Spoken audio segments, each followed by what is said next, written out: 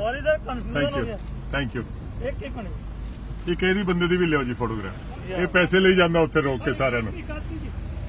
ਪਹਿਲੀ ਗਲਤੀ ਹੈ ਸਰ। ਸਰ ਪਹਿਲੀ ਗਲਤੀ ਨਹੀਂ ਹੈ। ਸੁਣੋ ਮੈਂ ਸੁਣੋ ਜੀ। ਮਾੜੀ ਗੱਲ ਸਰ ਹੈ, ਮਾੜੀ ਤੁਹਾਡੀਆਂ ਗੱਲ ਹੈ। ਜੁੱਤੀਆਂ ਮੇਰਾ ਸਿਰ ਕਿੰਨੇ ਪੈਸੇ ਲਏ ਸੀ? ਹਾਂਜੀ। ਕਿੰਨੇ ਲਏ ਸੀ?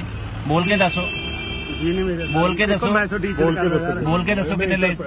ਨਾ ਜੀ ਮੈਂ ਸੁਣਦਾ ਸੀ ਇੱਕ ਮਿੰਟ ਫ਼ਰਕ ਕਰ। 50000 ਰੁਪਇਆ ਗਵਰਨਮੈਂਟ ਤਨਖਾਹ ਦਿੰਦੀ ਹੈ। ਤੁਹਾਡਾ ਵਾਹਿਗੁਰੂ ਜੀ ਕਾ ਖਾਲਸਾ। ਇਹ ਜੱਤੀ ਕਲਾ ਜੀ ਥੈਂਕ ਯੂ ਹਾਂ। ਅਸੀਂ ਬਈ। ਹੋ ਠੀਕ ਬਹੁਤ ਹੋ ਵਧੀਆ ਕੰਮ ਕੀਤਾ ਤੁਸੀਂ। ਥੈਂਕ ਯੂ ਹਾਂ ਥੈਂਕ ਯੂ ਯਾਰ। ਮੈਂ ਕੈਨੇਡਾ ਤੋਂ ਕੈਲਗਰੀ ਤੋਂ thank you sir thank you ਹਾਂਜੀ।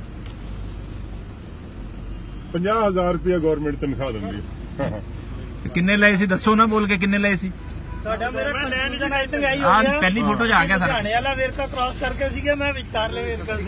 ਅੱਛਾ you are in Ludhiana data ਜੋ ਮੈਂ ਇੱਕ ਮੇਰੇ ਜਾਂ ਤੱਕ ਗੋਲੀ ਮਾਰ ਦੋ ਸੁਣੋ ਨਹੀਂ ਕੋਈ ਨਹੀਂ ਉਹ ਤਾਂ ਘਰੇ ਬਹਿ ਜਾਓ ਯਾਰ। ਇੱਕ ਮਿੰਟ ਸਾਈਡ ਤੋਂ ਨਾ ਫੋਟੋ ਲੈਣੀ ਤਾਂ ਸਾਈਡ ਤੋਂ ਸੀ ਉਹ ਤੇਰੀ ਵਿੱਚ ਆ ਗਈ ਸਾਈਡ ਤੇ ਨਹੀਂ ਸਰ ਜਾਂ ਮੇਰੇ ਗੋਲੀ ਮਾਰ ਦੋ ਗੱਲ ਚ ਪਾ ਕੇ ਰੱਖਣਾ ਫੋਟੋ ਦੇਖ ਲਓ। ਜਿਨ੍ਹਾਂ ਕੋਲੇ ਨੌਕਰੀ ਹੈ ਨਹੀਂ ਉਹ ਕਿਹੜਾ ਗੋਲੀਆਂ ਖਾਈ ਜਾਂਦੇ? ਸਰ ਇੱਕ ਮੇਰੀ ਮੈਂ ਜੀ ਸਰ